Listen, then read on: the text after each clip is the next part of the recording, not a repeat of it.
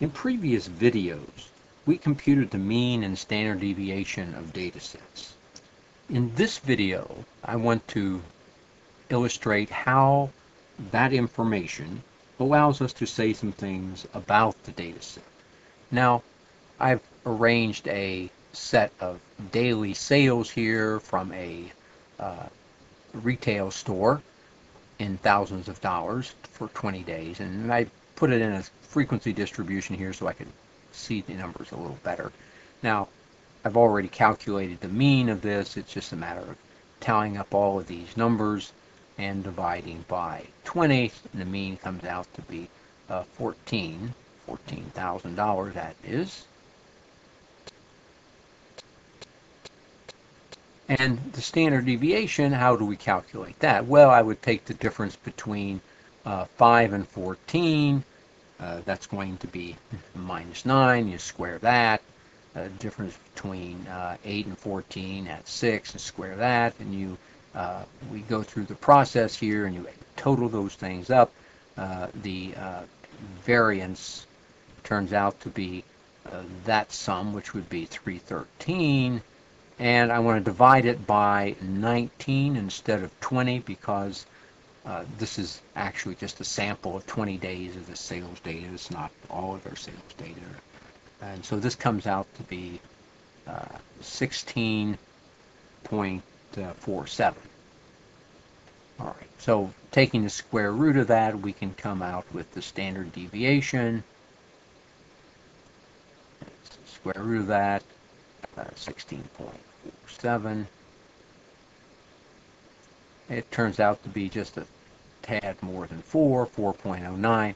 I think I'll just uh, call it 4 just so we've got some nice even numbers to work with. Now, uh, the point of this video was to take a look at what's called the empirical rule to see how the mean and standard deviation can allow us to say some things about how spread out the data is. So let's take a look at uh, a number line here, if I could draw a straight line. Okay, and we'll put the mean here, 14.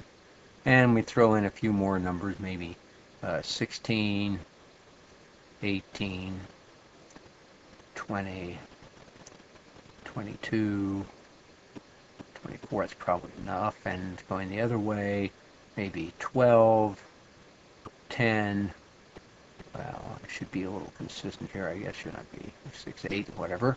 Um, now, to we want to assume that this data is uh, follows a normal distribution. So if it follows a normal distribution, it should be a bell-shaped curve. So I'll see if I can draw a bell-shaped curve here. Uh, it's not bad, better than usual. Okay, uh, where the mean is going to be 14 and the standard deviation in this case will be uh, what did I say 4 yes okay. Now uh, if I look at this data here I can actually see it, it's reasonably bell-shaped maybe not at least that most of the data is someplace close to the mean and it's somewhat symmetrical. Maybe it's got a little high values here but uh, the smaller values are out on, on the tails. Now, the empirical rule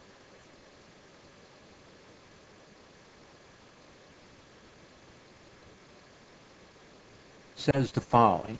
It says that if I look between one standard deviation on either side of the mean, then that should capture 68% of the data. 68% of the data within one standard deviation of the mean. Okay, so in this particular case, uh, if I take the mean minus one standard deviation, which was 4, it gives me 10. So we're talking about uh, the area between, the, between 10 and 14. If I go to one standard deviation above 14, that's going to give me 18. My arithmetic there, let's show my graph's not all that good. So what this actually means that if I look at the uh, the data that should fall between 10, I'm not sure if I should make this less than or less than or equal here, um, the one standard deviation on each side, that this should turn out to be 68% roughly. It also says that if we go within two standard deviations, so if I take two standard deviations away from the mean, so in that case, if I subtract another 4, this goes down to a 6 here, and so I would look at 6 on the low side, and then what's the high side going to be? I go two standard deviations above at 18, plus another out to 22, that the percent of the data that should fall between two standard deviations should be 95%. Okay, now with these two uh, estimates here, of course, you can figure out what each of these six little pieces should be, uh, assuming this is normal, so this is symmetrical. If it's 68 from here to here, it should be 34% on each of these uh, little pieces here. If it's 95% uh, from down here to up here, then that only leaves 5% on the two tips. So evenly divided between there would put 2.5% on each of these little tips. Okay, and a little bit of arithmetic would show that 13 and a half has got to be here in the middle. Okay, so we've done this a little more uh, precise here.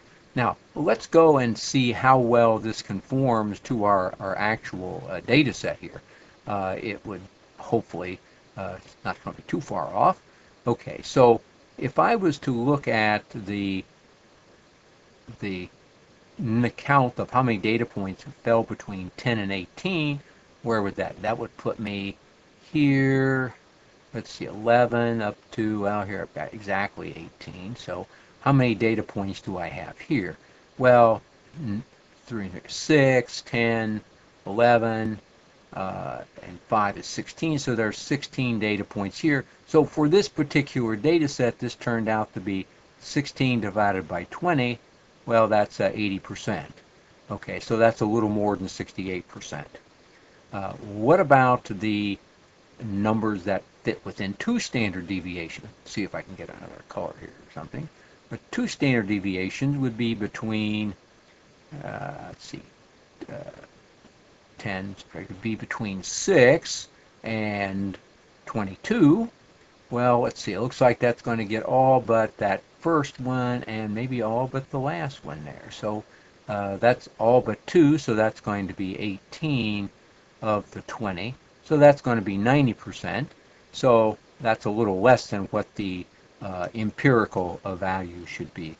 Actually, there's a value here for also for three standard deviations it says that 99.8% uh, or something like that of the data should fall within three standard deviations. Well, are three standard deviations. Everything falls between within three standard deviations for us. So uh, that's certainly going to uh, work there.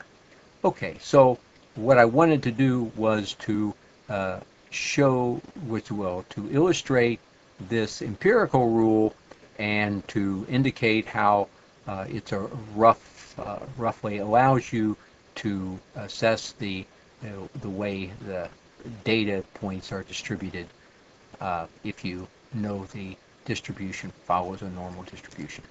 Well, thanks for watching.